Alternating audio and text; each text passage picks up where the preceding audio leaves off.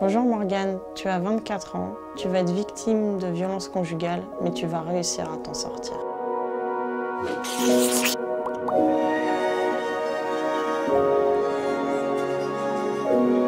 Tu vas rencontrer un homme qui va être euh, charmant, drôle, aimant. Tu vas tomber enceinte au bout d'un an et demi, c'est là que les premiers coups arriveront. Tu vas te sentir euh, décontenancé, humilié, perdu, mais l'envie de fonder une famille va être plus forte.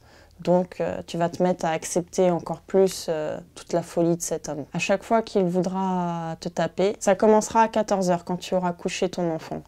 Ensuite, il te demandera de descendre les marches une par une jusqu'à temps de se présenter devant lui, où là, il te mettra d'abord une claque, puis des coups de poing, puis ensuite des coups de pied, jusqu'à temps que tu tombes à terre et que tu saignes. Cet homme va paraître euh, idéal, charmant, drôle. On ne pensera même pas à faire une fête sans l'inviter.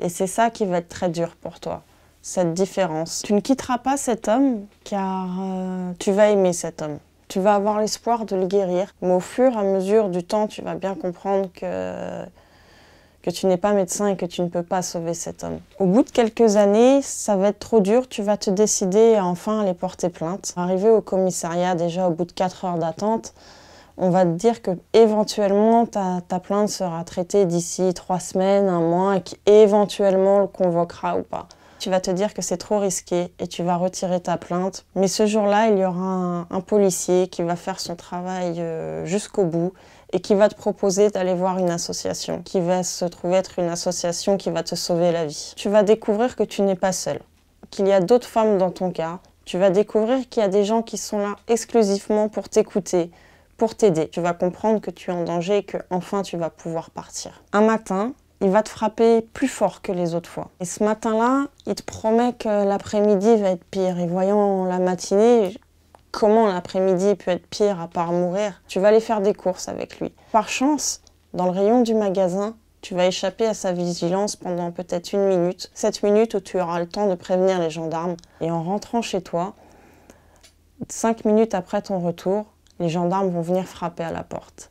Tu vas le voir enfin dans la voiture de police et là un sentiment de, justice, de liberté et en même temps, c'est horrible, tu vas culpabiliser de mettre ton l'homme que tu aimes en prison. Quand il va sortir de prison, pour bonne conduite, tu vas être folle de rage, tu vas avoir peur et là ça va être le début d'un d'un cauchemar pour toi. Il va te harceler pendant des mois, il va te téléphoner, te pister, jusqu'au jour où tu vas décider de partir. Tu vas prendre juste une valise et ton fils et tu vas t'enfuir. Au bout de deux mois, il te retrouvera en appelant tout simplement toutes les académies de France jusqu'à temps d'arriver dans, dans, la bonne où on va, on va lui dire qu'effectivement son fils est scolarisé dans cette école, sachant que toi tu fais partie d'un programme qui s'appelle Femmes en très grand danger. Cela pose beaucoup de questions.